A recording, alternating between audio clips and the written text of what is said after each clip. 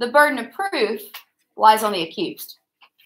So I want you to think about this. So if you are accused of a crime by the police, they have to, you go to trial, it is their job to prove you did it.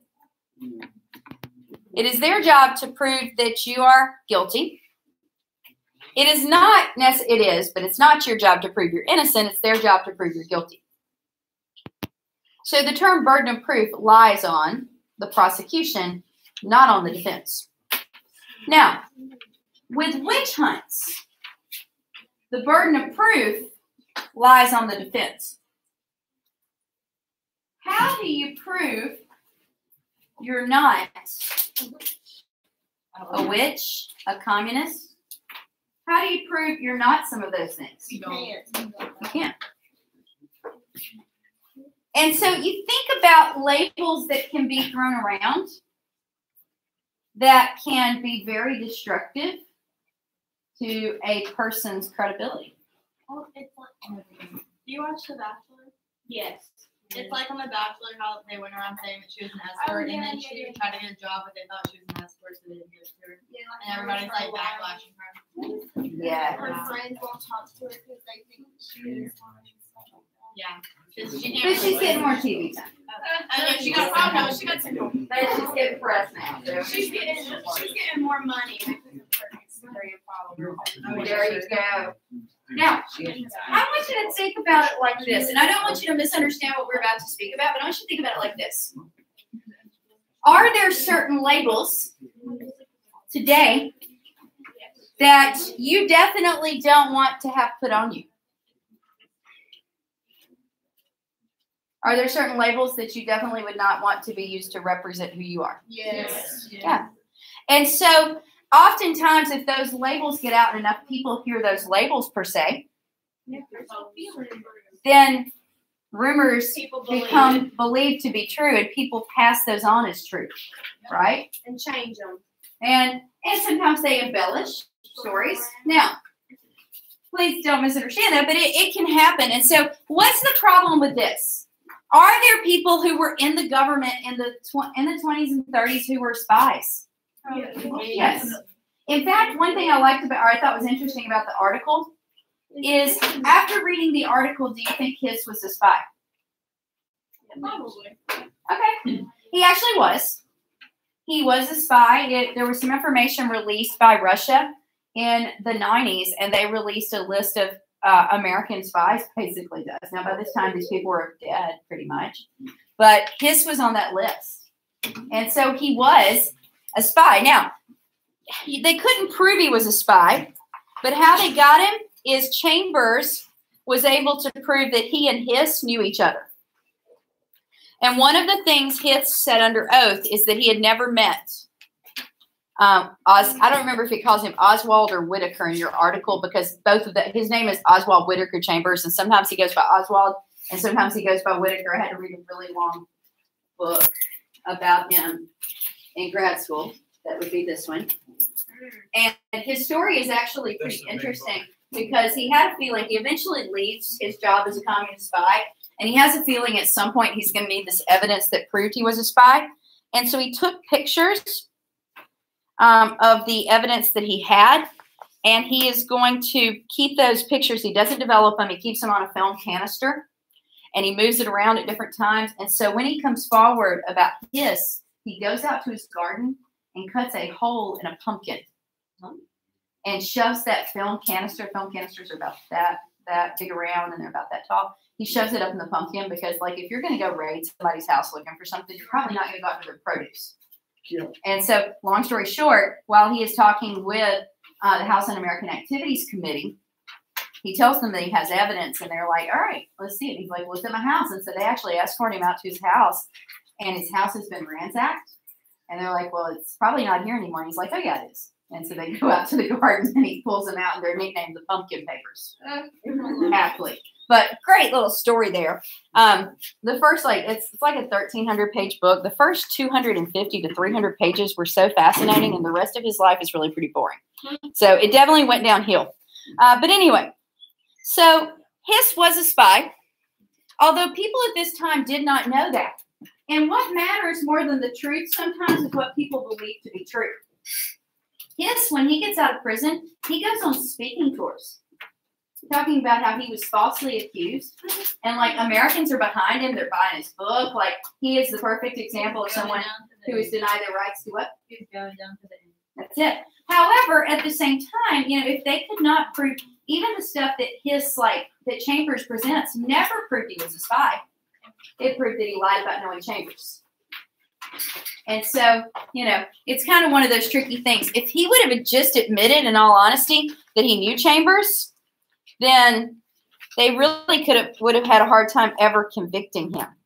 So, anyway, the Hollywood Ten, of course, were a group of directors. And what did they get in trouble for? Not, not, Not what? They were like, They refused to answer. Now, let's think about our Constitution for a minute, our Bill of Rights. Isn't there an amendment that says you do not have to answer if you might incriminate yourself? Right, they were made silent. Yep. You have the right to remain silent if what you say may incriminate yourself. And if you have that right, then should they be arrested for refusing to answer? No. No. Now the police can hold you a certain amount of hours, but if they can't charge you after that time, I mean this this is a direct violation of the Constitution. I find it interesting when people mention Hiss more because I think realistically the Hollywood 10 are really who kind of I get more upset about with too. All right. And so another important figure that I want to make sure you take away from here is the young Richard Nixon. Nixon is one of the head prosecutors for HUAC. This is where Richard Nixon's name gets out there and where Nixon becomes famous.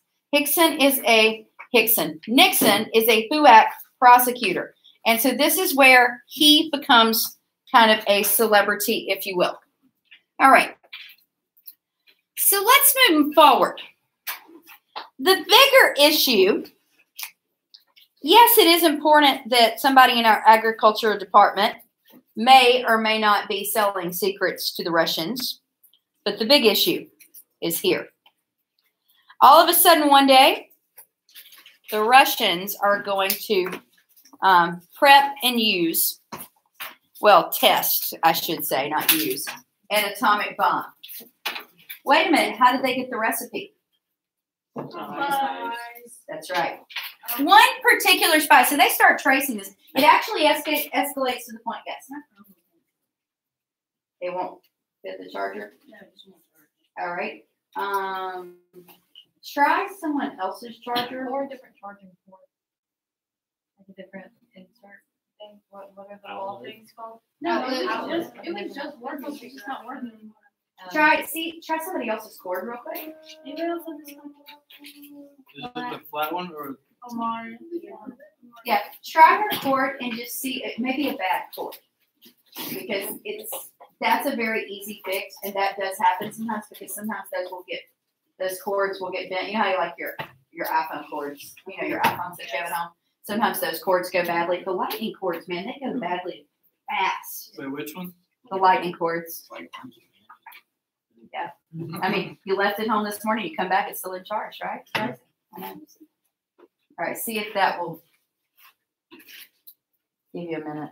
If not, I will email Miss Rebecca. I mean, well, either way, I probably will email Miss Rebecca. But nothing. All right. Okay. So anyway, what you're going to see here is it is they start to investigate. They start to investigate because what they find is that they have a um, they know they have a leak because the Russians don't have it, and all of a sudden they they use this bomb and it you know they test it and it's successful. Didn't you say that, um, what's his last name? Uh, Truman and the other dude found out at the same time at the same place? Mm-hmm. Now, but that doesn't mean the other dude, which was uh, Stalin, actually has the quote unquote kind of recipe. He doesn't have the here's how you build a bomb. Okay. He hadn't watched the YouTube video. So here's what takes place. All of a sudden he has it. So pretty much the things you do is you follow the spy network, you follow the, and we had some double agents, we know that, and you also follow the money trail. And so at first they blocked all the scientists who have been working on the project from access to it, including Robert Oppenheimer, whose work is believed to be what finally finished the bomb. Like they're like, yeah, we know you created this, but you're out. Literally blocked him. And so what they end up realizing is the guilty party was a scientist named Julius Rosenberg. This is Julius and his wife Ethel, and uh, they're they're younger. Um, pictures don't really do them justice. A lot of times, black and white pictures make people look older anyway. But they have two young children, and she had actually driven him to the meet. And so, therefore, she is guilty as well. This is an act of treason. And so, how is this handled? Well, they handle it by calling them in. And they basically are like, look, we know you did this. And they give him an option. Now, this is where we don't like Julius. They give him the option. They're basically like, look, dude, you can take the blame here. We know all your wife did is drive you there, but we need you to admit that you did this. And I get why they're doing that because, you know, they like television ate them up. Like they absolutely love them because they're this young couple and here they are, they're facing against the evil government, what the government just did to poor Hiss. And, you know, and so the television is eating them up as like just kind of victims. We love victims, right? I mean, we do. Victims sell. And so they go in and they're like, Julius, admit you did this. And he's like, I didn't do it. Like, dude, we know you did this. Admit you did it. And he's like, I didn't do it. They're like, if you will admit you did it, we will give your wife a lesser charge. She'll maybe serve a year or two at best. She'll get out on parole, and your kids will have their mother. Julius is like, but I didn't do it. They're both convicted. They're both going to sit in the electric chair. Now, there's a thing about body chemistry and electricity. Do you know your body system has electricity in it? And all of our electrical systems are wired a little differently. Julius, they sit him down in old Sparky. Fire that thing up first time it kills him. Ethel. Now, it's been a long time since I studied this, and my number may be slightly off, but it's not far. Her body chemistry and electricity did not jive with the electric chair. And if I'm remembering correctly, they electrocuted her nine times before she died. They say after four, your brain dead. So, but I'm sure by the third, she was so mad at that man. By the way, when all the information came out in the 90s, it is definitely Julius Rosenberg who sold those nuclear secrets. Oh. Yeah. I just do not like him. Like, you could be a spy, but at least, like, you know, let your wife. Like, Like, I mean, you're going to have to get electrocuted anyway. And, you know, yeah. And, I, and then at the same hand, I'm kind of mad at her. I'm like, you need to rat him out. Because you know what snitches get? Immunity. Snitches get immunity. I mean, there is a benefit right here. Stitches are better than the electric chair. Nine times. Nine times better than the electric chair and the nine times in the electric chair. All right. So let's move forward. But Julius and Ethel, they're kind of the culmination of this whole hunt for communists and you know, but it also brings fear. Americans are torn, some are afraid, some are feeling like their rights are violated. And so it's kind of all over the place. And that is why I ask you the question. I hope you put a little bit of thought into it. At what point do personal rights and national security meet? Because that's a hard question, isn't it? We want our rights protected, but we don't always want someone else's rights protected. And someone in second block asked a question that I thought was a very pertinent question. That was a good question. Means important, significant. And they said, why, if you are being questioned, why wouldn't you answer if you know you didn't do it? Like if you know you weren't a director who was trying to be a con. That's right. If you watch enough criminal stuff, if somebody, I mean, like, you know, you get somebody who's a savvy questioner that they question people all the time, their job is to get you to confess. And sometimes, if they convince themselves in their mind that you did it, and you know, sometimes it looks like you did then they can question you enough to where you sound guilty. And you think you did it. Or you trip up. Or occasionally people even confess. They're questioned for so long. I was listening to one the other day, and it was about like when the evidence makes it look that way, um, it's hard not to believe it. And there was this one particular example where they found this girl and she had been murdered, and she'd been missing for quite some time, maybe a couple. I don't remember if it was. It could have been as few as a couple of months, and it might have been a couple of years. But in some of the attire that she had on, it seems like it was a jacket to me, but I may be mixing that up with a different case. But they found this hair that was not hers. And so you would assume that hair belongs to the assailant, right? And so mm-hmm. they run the hair and they get a DNA match. However, the person that the DNA matches was in prison and was still in prison for like six months before she was ever missing. So this could have been his jacket that she bought. It could have just been some cross contamination somewhere. And so just because all fingers point one way doesn't always mean that's the answer. We're having a historical experience in this room. Hey. Okay, sure. To what area? To where? Okay. Jesus, go get guided. All right. So anyway, we're gonna kind of backtrack a second. Yes. This sounds so stupid, but I think it's like that movie, My Cousin Yeah. I love the movie My Cousin. It's actually a really good film. Yeah. And he proves how like everything looks like when you first look at that case, everything looks like they did it, but the guy's like, you didn't do it. Yeah, when I was watching it, I was like, did I miss something? Like, Yeah, there's a court case you would probably find interesting, and it's Gideon versus Wainwright. And it is why you have the right to an attorney. And it's one of those that it looks like everything looks like you did it. But when you actually get and uncover the right things, it didn't happen. All right, so let's check this out. In the election of 1948, backtracking a little bit because we talked about Truman's term, let's talk about Truman's election. So, Truman, the first term, he gets the easy way, right? You know, he follows up FDR when FDR dies. So, in Truman's term on his own, Truman is going to represent the Democratic Party because that's the party he was a part of.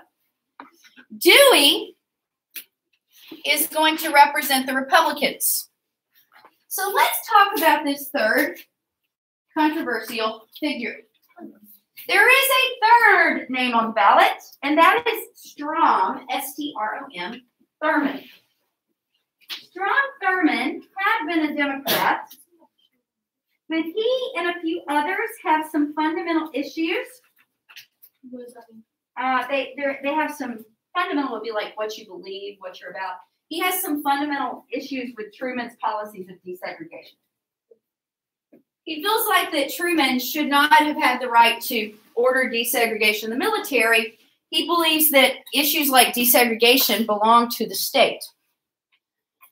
Now, to slightly play devil's advocate here, I agree that everything should be desegregated. However, at that time, to be fair, there was a court case that supported segregation. What was the court case? Plessy versus Ferguson. And so it said that segregation was constitutional. So legally, does the government have a right to enforce segregation? Well, do you do the right thing because it's the right thing, or do you do the right thing because it's legally supported? Uh, now, I agree with Truman's policies, but that's Strom's argument. Now, don't get me wrong, Strom is not exactly a person who embraces black people. I do believe his policies are racially based and racially motivated. But his argument is kind of historically sound. And that is why, at the same time, you have the NAACP that is working their tail off to try to get cases to Congress to get Congress to reverse Plessy versus Ferguson. Because till you reverse it, or until an amendment is passed, it's very hard to fight segregation, unfortunately. Thurmond, though, Thurmond is pretty openly, aside from his statements being kind of legally accurate, he's pretty openly racist. And he is going to run on a party called the States' Right Party or the Dixiecrat Party. Now, anytime, obviously seeing it's the Dixiecrats, what party is he coming out of? He's coming out of the Democrats. And so anytime you split a political party, what usually happens? So your other. The other party wins. That's how Wilson became president. Speaking of races. So, so here's what happens. This is the one time in our history that a party splits And and still wins. And in fact, it's kind of an interesting election. So the prediction, um, and he's the Dixie Dixiecrats. All right. So the prediction was that Dewey was going to win. That was the prediction. Truman made the South angry because he had desegregated the military, which technically the military falls under the federal government, not the state, so they had the right to do whatever they wanted. But what's going to happen here is it the results are so at first they come in so strong for Dewey and he wins some very big states. If you've watched any election like the recent elections or any others, you know that New York is a whole heck of a lot of votes. Philadelphia, Pennsylvania, or I should say, is a whole heck of a lot of votes. Florida this time wasn't as big because you're still having this is when you're starting to have that sun belt that we talked about yesterday where people are starting to move particularly to Florida and Texas. In fact, if you look at Texas at this time, it's kind of small comparatively. Look at California, it's small comparatively. And so that's when you still see that sun belt happen. You still see that migration. But what ends up taking place is although the Republicans are going to come out very strong in that New England area, the Democrats are going to come out very strong when you get to the coast, to the West Coast. And so it is so strong that Chicago, Illinois goes ahead and prints and delivers their newspapers saying that Dewey defeats Truman. Dewey went to bed on that November 9th thinking he was the president. And so his Secret Service agents were outside his door, and his campaign manager comes in the early hours of the morning, and he's like, "I got to speak to Dewey." And the guy says, uh, "The guy that's outside his door not wish to be disturbed." And he said, "Well, unless you got Harry Truman in there, wake Dewey up and tell him he's not president." Which I thought was kind of let the guy like breakfast. Give him about an hour or so before you're like, so maybe even show him the Chicago newspaper and say, we're going to let you keep this. And so the Chicago paper was actually printed and delivered. Newspapers were usually delivered in the wee hours in the morning uh, because that way there was nobody else on the street. It was very easy to do the delivery. And so this is a famous picture of Harry Truman smiling as he holds the incorrect newspaper that says Dewey defeats Truman. And so I'm sure if I were Truman, I would have like kept that paper for the rest of my life. It's like not so fast. Yeah. So we've talked about Truman's foreign policy with containment, Korea, Turkey, Greece, Marshall Plan, all that. Let's talk about Truman's domestic policy. Now I'm going to be fair to Truman. I don't think Truman was the most brilliant president we've ever had as far as academically, but you know, probably the most brilliant president we ever had was not good in a lot of ways either. I do think though Truman is Truman and I have a very similar philosophy on something, and that's a if it ain't broke philosophy. If it ain't broke, don't fix it. And so Truman basically his policy is we're going to keep doing the stuff the New Deal did because that kind of worked. He had been under, I mean, he had a huge respect for FDR. And so it makes sense. However, you don't want to call your policy what that guy said, right? And so instead of having the New Deal, which was our second deal, he called it the Fair Deal. And so we have three programs that end with deal, and you need to get these straight in your head as to whose program is whose. So who is the square deal? Square is TR. All right. Then you have the new deal. Because first of all, you had to have a square one before you could have a new one. New means you already had one. And then after the new deal, we have the fair deal, which is like, uh, it's almost like he's trying to copy FDR. And this is true. Okay. And Truman comes immediately after. So here's what you need to know about the Fair Deal. He's like, we're going to extend the New Deal programs. We're going to extend Social Security. We're going to raise minimum wage. All of these things were kind of in line with what FDR wanted to do, right? Also, he wants to build low income housing. So these are houses geared that would be affordable for people with lower incomes. He also wants to do rent control. What rent control is, is to keep like your landlord from continually jacking up your rent price. Uh, I remember rent control. Yeah, we vetoed it under the previous act. Yeah, he wants to impose it. He wants to impose it. I'm not, the reason he vetoed it under Taft-Hartley is because the way it went about, he did not approve. He also wants farm support on parity. Now, let me explain to you what this is. You know what this is, but it doesn't look clear here. What did FDR do to help out farms?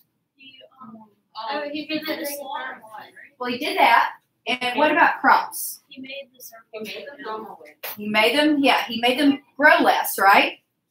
In that Agriculture Adjustment Act. So he scaled down the amount produced. And then he gave them a, uh, the word stimulus has been in my mind all day, and that's the wrong one. It's a, not stipend, same thing. Stimulus, no. Um, subsidy. Yeah, another S word. Yes, he gave them a subsidy for not growing as much to make up their income, right? That's all this is. It's just different words. Parity scaled down would mean that you're scaling part of it down, like a partial scale down, okay? All right. He also makes more civil service jobs, people working for the government. Isn't that very New Deal of him? Yeah. And then also, he expands our Reclamation Bureau. That is our group that does national parks. Also, very New Deal with him. Did you know that the National Park Service handles historic sites? Like if you went to the birthplace of Abraham Lincoln, if you went to the battlefield of Gettysburg, Isn't it also like Elvis Presley's house? I I would assume so. I didn't know. It, I I would have thought that that was uh, privately owned, but it may not be. They may have turned it over. But places like that, yes. So any place that is his, if it is a national historic landmark, it falls under the National Park Service. Yes. Um, the house that my grandma used to live in before she died, that they still have now, um, they wanted, someone came to them and wanted to put it under that, like, Really? historical building place. Because they had all of, like, the old architecture, all of, like, the old, like, cooking items. The whole house looked like an antique shop. Oh wow. And they wanted to do that, and they were like, no. And I would guess too, with it being private property, I mean, I guess, well, that wouldn't fall under eminent domain because it wouldn't be for public use. Yeah, was, And I would guess if it's still family owned, yeah. that- It was some mayor of Virginia's house during the Civil War thing. Yeah, Virginia loves their monuments too. And so, at any rate, what happens, all of this sounds exactly like the stuff FDR's doing. So, pretty much, he's like, New Deal, round two, let's go. All right. So, pretty much, when you think of Truman's programs, if it sounds like, ask yourself, WWFDR. D. What would FDR do? And if it sounds like something FDR would do, Truman is going to try to do it. All right. So let's move on to President Eisenhower. Now, Eisenhower, to me, I've always thought about him. He was the oldest president we'd ever had up until that point. By the way, both the last one and the current one are older than he. Uh, but you know, I you look at him and he looks so old. but there, and you think about, you know, not that Joe or Trump look young, but like still they they look younger than him, you know. But anyway, I just think of Eisenhower's like Papa, you know. He has that old Papa look. So I want to show you something that I think you might enjoy. This is Eisenhower's political ad in 1952. So the television is coming on the scene in the early 50s. And it becomes exponentially popular very quickly with those fancy 13 inch screens, right? And so this is this is his slogan and his ad. And so let me play this for you. Can they talk in there? Do what? Do they talk? Yeah. Ike for president, Ike for president, Ike for president, Ike for president. You like Ike, I like Ike. Everybody likes Ike for president. Hang out the banner, beat the drum. We'll take Ike to Washington. We don't want John Dean or Harry. Let's do that big job right. Let's get in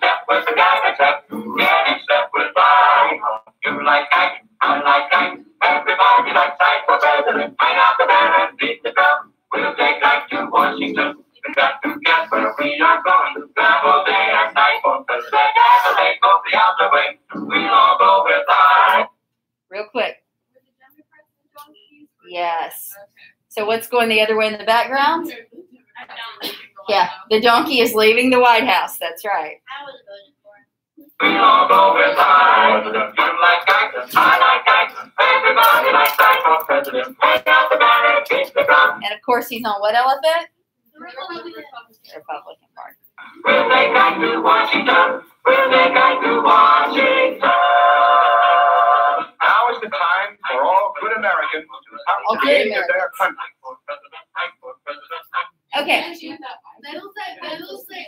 It's- it's yeah, they didn't at that time. It's like an abbreviation for Dwight and Eisenhower kind of together. I believe it's a nickname he gained as a child. So I want to re look at this part with you real quickly. Uh, go ahead and take your cord and computer to the office. She's up there in the front. She's in the front today. All right, so look at this. He's about, they're about to talk about three people we don't want. Notice the symbolism, they're donkeys, right? Democratic Party. And let's listen to what their names are. We don't want John or Harry. Let's do that big job right. So Harry was Harry Truman. John is one of the guys who runs against him, and Dean was another serious competitor. So those aren't just random names. Like, you know, those are deliberate. Yeah, and they do sound like it does sound good, but if you actually listen to it, and it's funny too. I, I found this colorized version, and before I found the colorized one, you really don't see the the donkey leaving the White House. It shows up better in the colorized, in my opinion. All right, so let's continue on. Um, so Eisenhower promises us that he is going to try to turn his attention and his funding away from war. At the same time that he's promising us he's going to end the Korean War. And he has this very famous quote that I want to share with you. And it's this Every gun that is made, every warship launched, every rocket fired signifies, in a final sense, a theft from those who are hungry and not fed. So if we're doing all this military buildup, we can't feed our hungry people. Those who are cold and not clothed. In the world in arms and spending money alone, it is spending in the sweat of the laborers. It is the genius of his science scientist and the hopes of his children. So basically, if we're having to spend all this money on the Cold War, we're stealing from where we can help other people. Now, although he says those things, we do end up with a lot of military buildup because of some of the things that are going to happen in his administration. One thing Eisenhower does is he promotes something that I think is a really good thing, but it is more expensive than the entire New Deal together, like the whole New Deal. And that is the Eisenhower interstate system.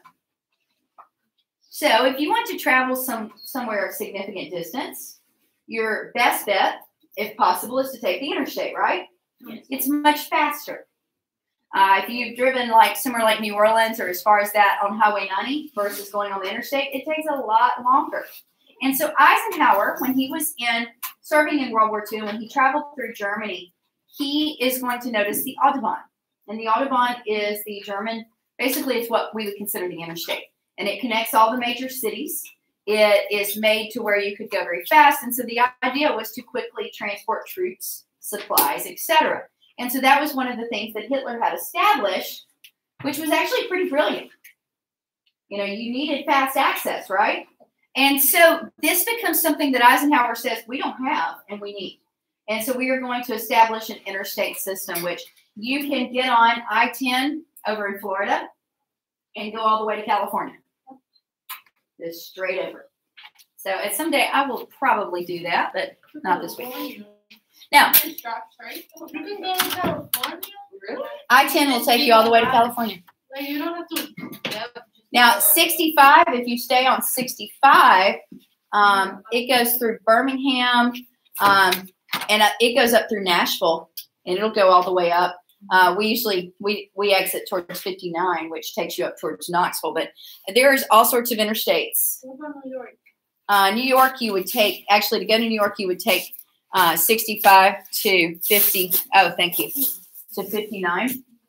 Um, and then out of 59, I'd have to look to see how you turn out of there. But we always take that way going to uh, to DC. We go the same way that we go to Knoxville and kind of up towards there. All right. So I ten will take you all the way from Florida to California. I 10 is, yeah, it runs all the way across. Wonder how long it took to build that.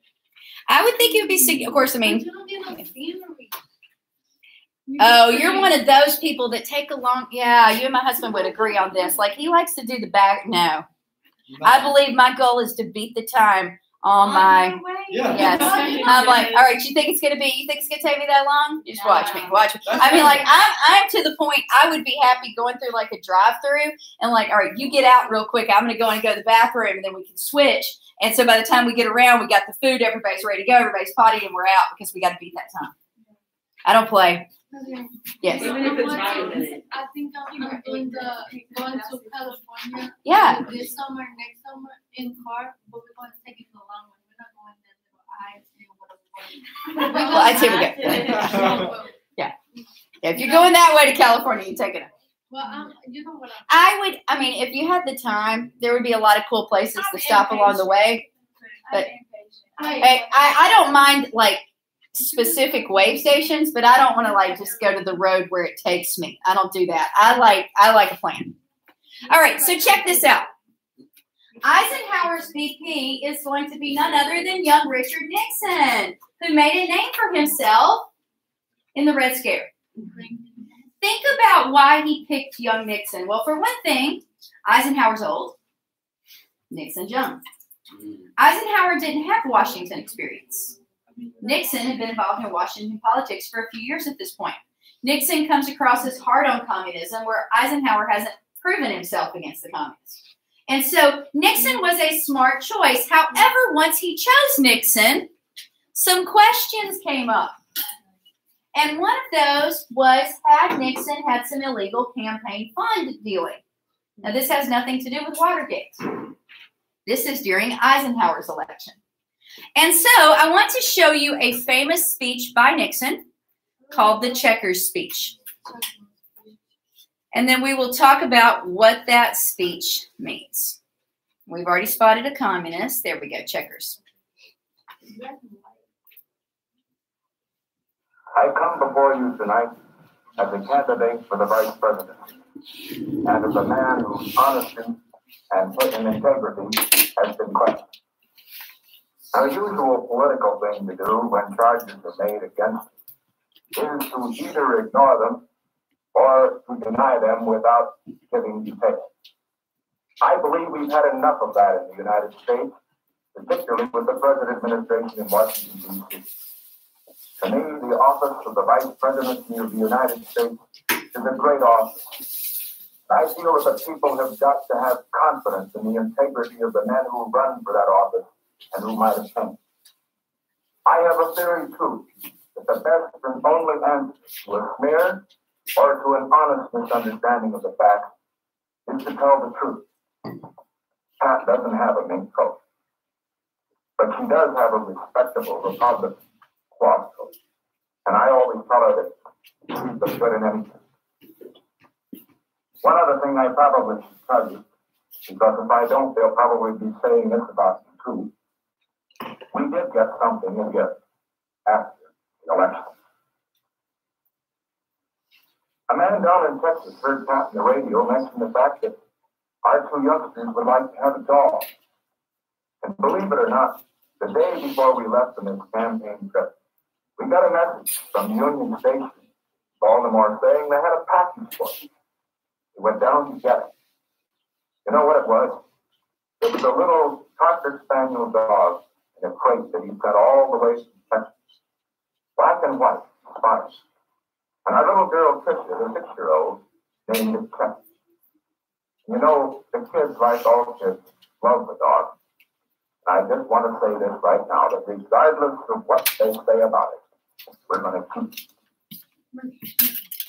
So So he talks about if you watch the whole speech, which I'm not going to show you the whole one, it's kind of long, but he talks about how he's not a rich man. And he talks about the honest ways to make money in Washington. And he basically says, I didn't do any of those honest ways, which is kind of funny. And then he talks about, and so that's why he comes out and he's like, Yeah, my wife Pat doesn't have a mink coat because we don't have a lot of money. And she has a, on a, a respectable cloth Republican coat, uh, which, you know, whatever.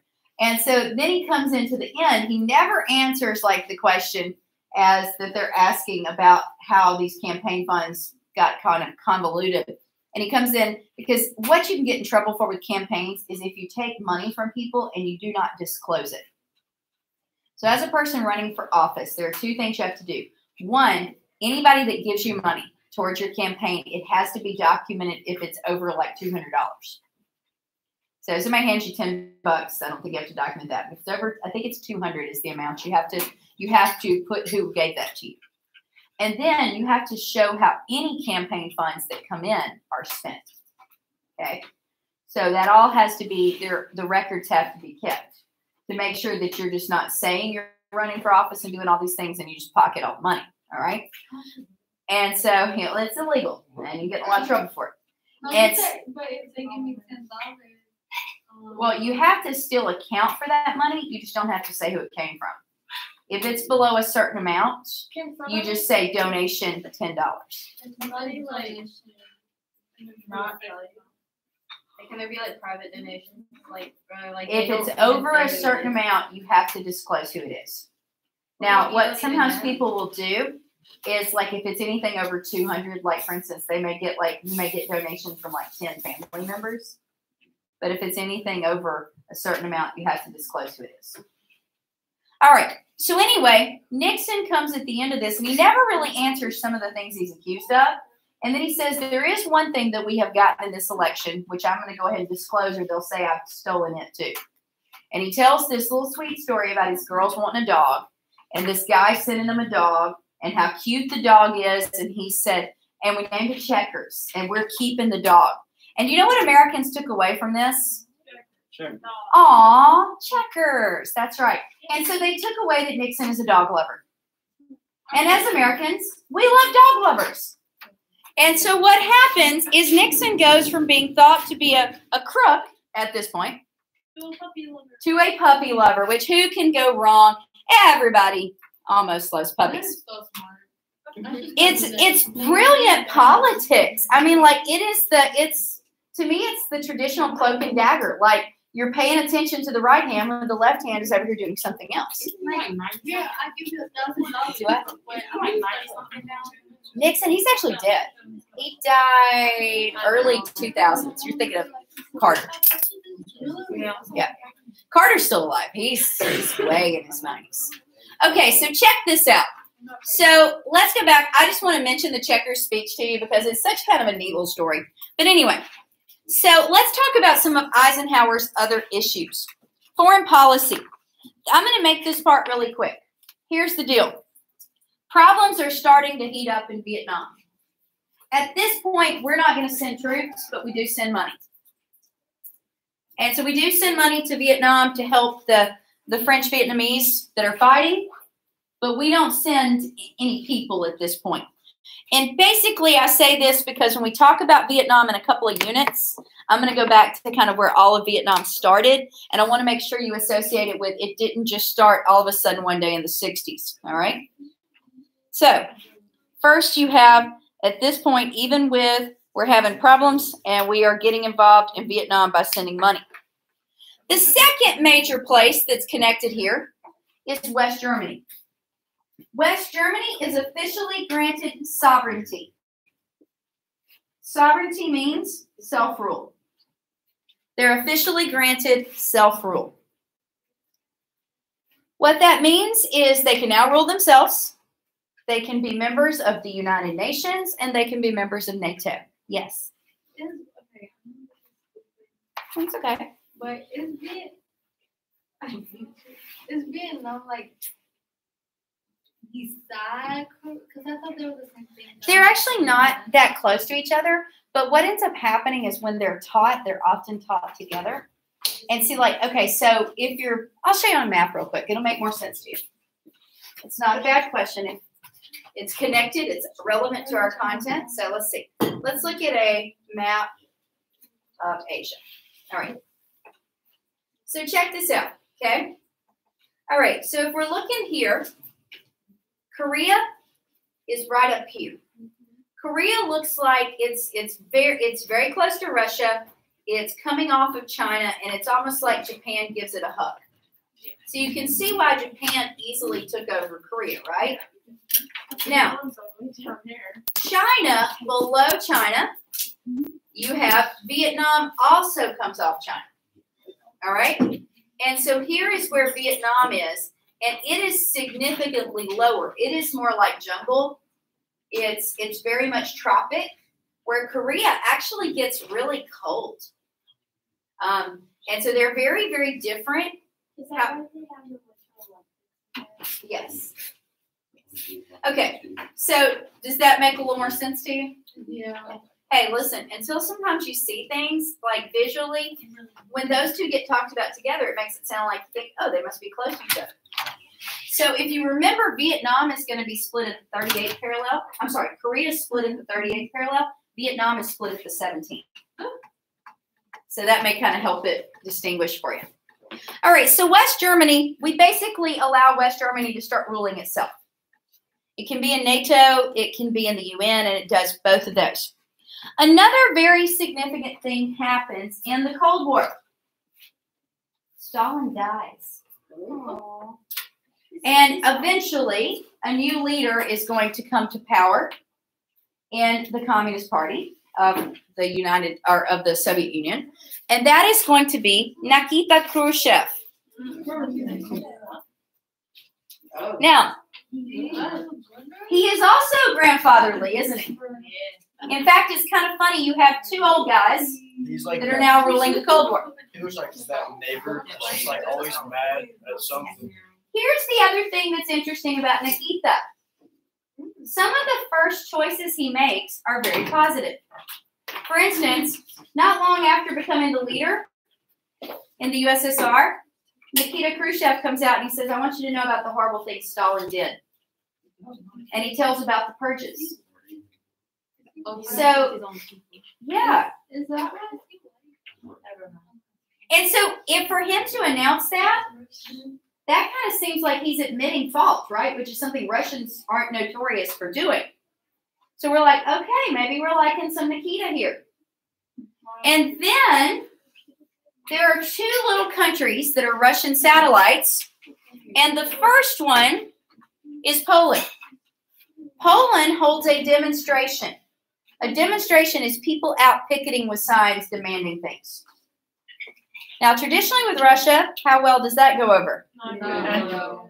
In fact, Russia meets some of their demands. We're like, okay, we see you, Khrushchev. And Hungary's like, we see you too. Uh, Heliana, go to 257 to Miss Rebecca's office right behind you. And so here's what happens Hungary decides they're going to try the same thing, and Russia's like, nope, not so fast, Hungary. And so they end up squashing the rebellion in Hungary and creating a puppet government. So a little bit of a mixed message here, right? What does that mean? Puppet government means that like they remove everybody from power and put people in power who are yes men. Um, That'll do what they tell it. Basically, they're the ones pulling the strings. Yeah. yeah. So it's like, oh, okay, sure, Poland, here you go. You get what you want, Hungary, and not so fast. Thus, any of you younger children, yeah, you know how that is. Fun times. Now, let's talk about the Eisenhower Doctrine, which is the next thing on your outline. And it's very important that you grasp this. I'm going to make this really easy for you because the politics of what happened is kind of complicated. And what happened there actually doesn't affect us. It's more how we respond to it. So I'm going to make it pretty simple, okay? So there is a conflict between Israel and Egypt. And we're trying to be friends with both because one, Israel's our ally, and two, Egypt has oil. When in doubt, go with the oil, right? The two answers in the Middle East are always Israel, oil. So here's what goes down.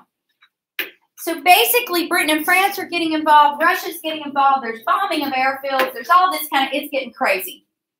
And so Eisenhower commits to the Middle East what becomes known as the Eisenhower Doctrine. Stick with me on this. And that is we will send money to help Middle Eastern nations fight communists and, if necessary, troops. So, the Truman Doctrine we would send money for containment of communism. The Eisen, in what area? What area is the Truman Doctrine? Korea. Europe. Europe. Particularly greasy turkey. Thanksgiving, right? Mm-hmm. Truman's Thanksgiving dinner. Greasy turkey. Eisenhower, Eisenhower E. Middle East, Egypt. We will send money and troops to prevent the spread of Communism. communism. So basically, our policies of preventing communism are spreading too, aren't they? So it starts with Europe, and then it leaks down, and then now we're talking about troops. So it's escalating. E for Eisenhower, E for escalating, E for Egypt. All right. So where it really escalates, though, is space. So first of all, we feel like we're still doing really good because we get the H bomb first. I mean, we had the atomic bomb first, and now we have the H bomb first, What's the H bomb? the hydrogen bomb. It is only like a thousand times more powerful than the atomic bomb. It's not only about Oh, but what does oh, you said It's like what that. the bomb- Instead of like boom, it's like boom. You know. But you- That's the also I will Do what? That's the also it's radiation. Not the, it's, it's not the boom. I will for It is Yes, it does leave radiation as well. So just to show you this real quickly before we get into the tennis ball with legs. So here are the technological advances that happened just in the 1950s. Uh, first of all, the IBM mainframe computer, and you don't have to memorize this list. Second, the hydrogen bomb test is successful. Third, DNA is discovered. We actually realize, hey, there's this thing. We don't know what it means yet. It's going to take us a little while, but it, we know it's there and we know it's important. Uh, the Salk vaccine test are tested successfully for polio. So we are all very grateful for that. Uh, also, the first commercial U.S. nuclear power plants. And so the idea was to use atoms to create nuclear power. In fact, uh, right below my hometown is one that has never actually been in operation because people become so afraid of nuclear meltdown with these. It's really creepy. It's like just there. And billions of dollars were billions of dollars were spent on all of these. Yeah. But anyway, uh, and then in 1958, we create NASA, and in 1959, you see the first seven astronauts in their press conference. But before we get there, let's talk about what's going to happen with Sputnik. So, October Skies is a great film. If you ever get a chance to watch it, it's probably on one of the places where you can watch stuff for free. What is it? We watched this in a science class. Oh, probably. I used to. It was one I used to show some, like if it was necessary for testing or something. But it's always. I mean, usually when I would show it, they'd be like, "Oh yeah, we saw that in science." And so it's like, "Yeah, we saw that show." Oh, is that the thing from Incredibles? It's about the four boys, the Rocket Boys, Oh, yeah. and it's about uh, the guy's name is like Herbert, I think, and he ends up wanting to be a scientist and wanting to because he's inspired by Sputnik, and he's based on a real guy. I So think it looks like the thing from The Incredibles. Yeah. So check this out. This is Sputnik. Sputnik was launched by the Russians. What it basically is is a small satellite. All satellite means is an object that goes through space. Sputnik 1 is going to be called Sputnik 1 because they're going to have a Sputnik 2.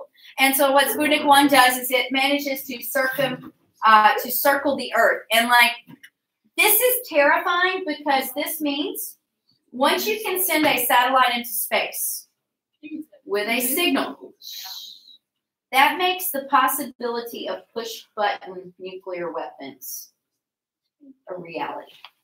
So, what would be to keep us, or to keep them from putting a nuclear weapon on that? That thing goes up, and whenever it wants to, boom, explode. Versus before, you had to take a plane and drop it out.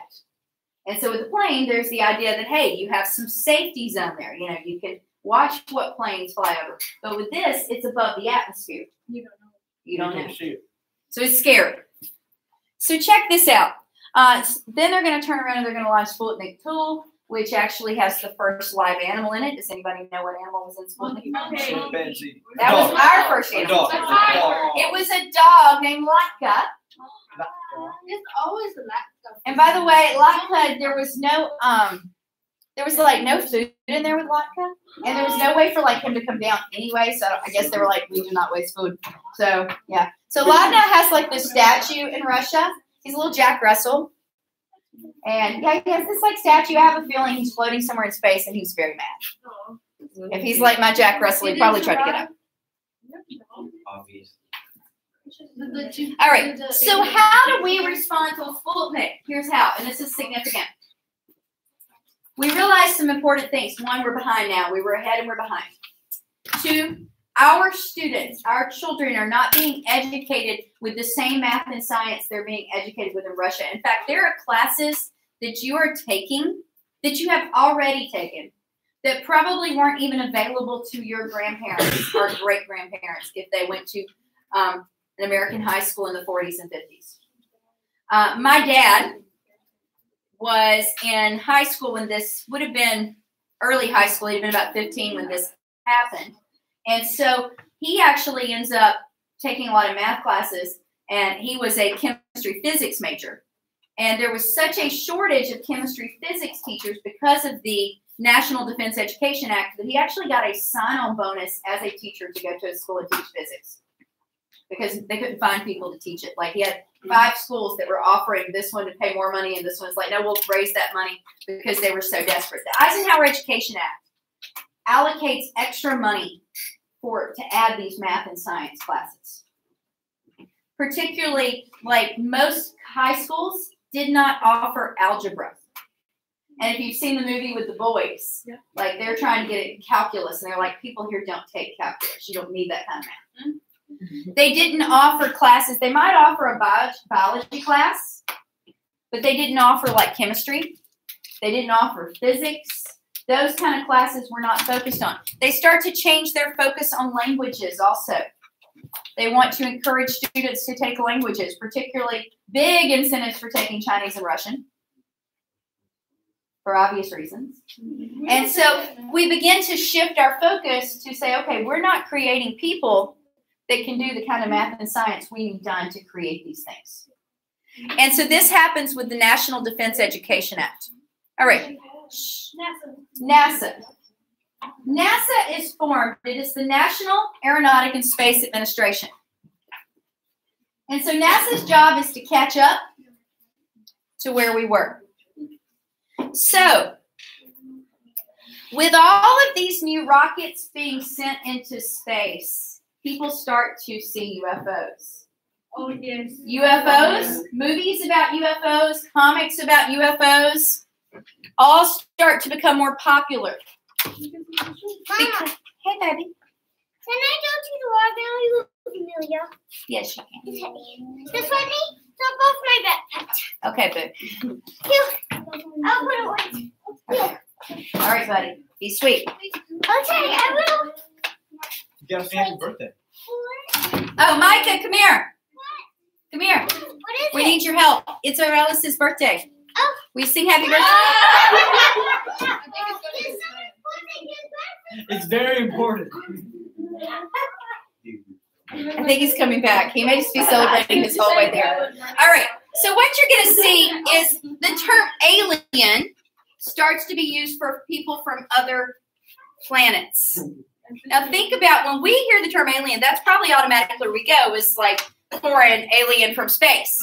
However, the term alien had previously been used, and is still some for people from other countries. Ready for the birthday song? All right, ready? It's this. Ready, set, go. Happy birthday to you. Happy birthday to you. Happy birthday, dear Aurelius. Happy birthday to you. No, I don't know. Quick, quick, quick. Goodbye. Go, Micah, go. Okay, I, I'm not gonna lie. I thought he brought you that tree, but I think he kept it, so I must have been. Happy birthday, Aurelius. So what we see is this metaphor of foreign aliens from outer space being a metaphor for foreign influence from communists. And so these are aliens who want to come and invade our planet. They want to come and take over our minds. And so it's this whole metaphor for communism. That we still use today. All right. Maybe not in So. This idea of nuclear weapons causes a lot of anxiety. Causes a lot of anxiety because people begin to realize that they could drop a bomb and blow us up at any minute. And so the government develops a whole process by which you can protect yourself. And this is taught to school children. And it is called duck and cover. And so in just a few minutes, I'm going to show you the video of duck and cover and Bert the turtle. And so the idea, now, you know, you think about it, we practice things like fire drills. Why? Because the fire drill literally works. We've had a few fires here. And guess what? It works. Nobody died. Well, that don't work. It does work. The duck and cover. Uh, the duck and cover, if we had a direct hit with an atomic bomb, We don't it's not going to matter where you are. You're going to disintegrate. Wait, wasn't that like? Didn't they tell people to like be in, like in school to stay under And your for desk? atomic when bomb, a Yes. direct hit is as far as it's east central. So Yeah. what- So check this out. So remember how I talked to you guys about the fact that there is radiation? Yeah. Here's why. Wait, are we gonna go into war? or something? Yeah, we are right now. I swear to All God. right, listen. Right now. Listen. Shh. Remember how I told you that we have radiation? Yeah. Here's why. The U.S. itself, not including all the other nations that have tested atomic bombs, we ourselves have exploded over 217 nuclear weapons Why? in the Pacific and in Nevada as tests. Poor Nevada. Like the same thing. I'm about to say you're not like oh, yeah, that works. I mean, the perfection process, and yeah, and yeah. I, I think it's a bit extreme. So wait, like how big of the area was the hydrogen bomb like? I, well, usually they, they did actually the hydrogen bomb. They used an island out in the Pacific. Uh, are you familiar with SpongeBob? Yes. Where does SpongeBob live? And a pineapple under the sea. But where is that? Bikini He lives in Bikini Bottom, which is actually the island Bikini Atoll. Because Bikini Atoll was an island that was completely exploded by a hydrogen bomb, and that is why SpongeBob and all of his friends are mutated. Whoa! Is that is that like Is that why Sandy wears an astronaut suit? It's real. No, it's because she's a squirrel underwater. All right. So our first satellite into space is Explorer One. So they have Sputnik. We have Explorer One. Yeah. Yeah. All right. And as we said, the possibility of what's called ICBMs, intercontinental ballistic missiles, push button warfare, is what becomes fearful to us. Now, as you guys, and uh, this was, they would tell you build these nuclear shelters. And you could like build this in your house, and people would live in these, and they would save up canned food and other things. It's basically a storm shelter, and the idea is if you stayed in here for two weeks, then you could come out and the radiation would all be gone Oh. So like, does it take ten years? or more. Here's the thing, guys it's the false sense of security. It's developing that false sense of security is what keeps Americans because basically the significant thing is that we feel safe. Oh, it's like that movie. You know, like movie of like something and monsters or whatever, and they all stay in, monsters all the way outside, but they're in nuclear fallout shelters and then like come down. Oh, we watched it. I was there too. Anyway, all right. So let's watch Bert the Turtle together. There